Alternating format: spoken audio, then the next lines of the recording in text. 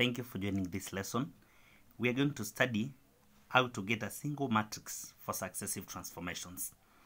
Yesterday we learned that when an object undergoes through successive transformations written in a certain order, then they are performed starting with the one on the right hand side followed by the one on the left hand side. For example, we are told that uh, a triangle with these vertices undergoes transformation PQ. This means P and Q written in this order. Q is performed first, then followed by P. Therefore, instead of performing Q, then we perform P on this object, we can find a single matrix which will represent those matrices. And the single matrix is found by the product. Hmm?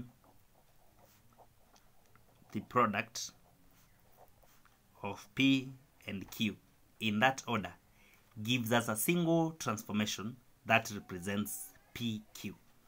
So we will have negative 1, 0, 0, 1,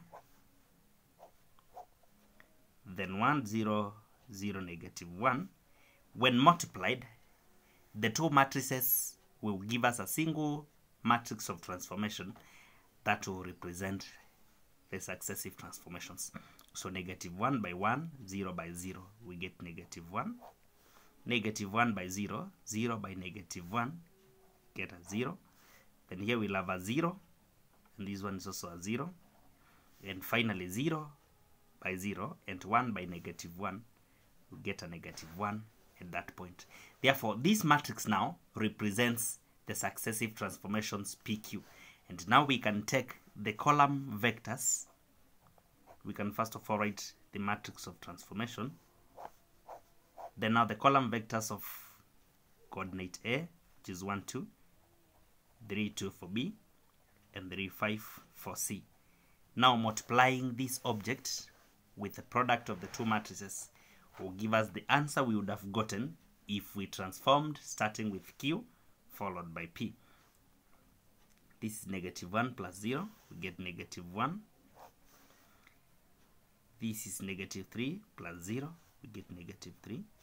This is negative 3 by 0, negative 3. This one is 0, negative 2. This one is 0, this is negative 2.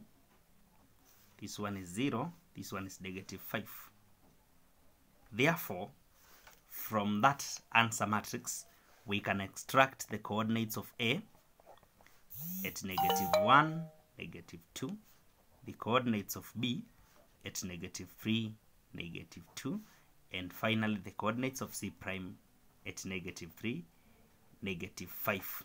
So this is the answer we get in case we perform the transformations successively.